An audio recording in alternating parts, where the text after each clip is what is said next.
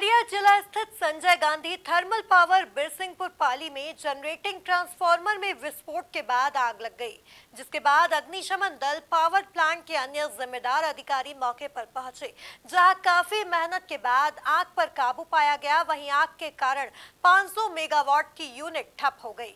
देखिए यह रिपोर्ट। कल साढ़े नौ बजे के आसपास की करीब घटना है ये, उस समय मैं पावर हाउस में ही था और यूनिट ट्रिप की मेरे पास मैसेज आया था यूनिट ट्रिप हो गई है और कहीं पे आग भी लगी है।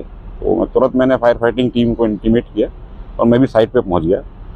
मेरे पहुँचने के पहले ही फायर फाइटिंग टीम पहुँच गई तो देखा कि वहाँ जनरेटर ट्रांसफार्मर की जो आर फेस है, उसकी बुशिंग बस्ट हुई है। उसकी वजह से आग लगी थी वो। आग बहुत भयावह थी, परंतु हमारी टीम पूरा मशक्क़त के साथ काम करके मात्र दो ढाई घंटे के अंदर उसका काबू पा लिया। और किसी प्रकार की कोई जनहानि नहीं हुई। सबसे अच्छी बात यह है। हमारे पास नया ट्रांसफार्मर लगा है, उसकी हम लगाने की तैयारी कर रहे हैं। कोशिश करेंगे कि बहुत जल्द से उसको हम वापस लाएँ। आग तो बहुत भयानक रूप से लगी हुई थी। सबसे पहले जैसे ही आग लगी तो मुख्य अभियंता महोदय ने हमको फ़ोन लगाया। हम कॉलोनी में थे।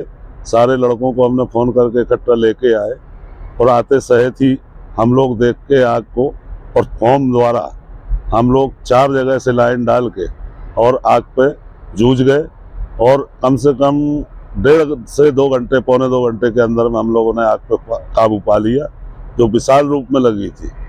और आयल बहने कारण आग बैक मार रही थी, हम लोगों के पास तक आ रही थी। बड़ी कठिन परिस्थिति में हम लोग जूझते हुए और डेढ़ दो, पौने दो घंटे के अंदर आग पर काबू पा लिया।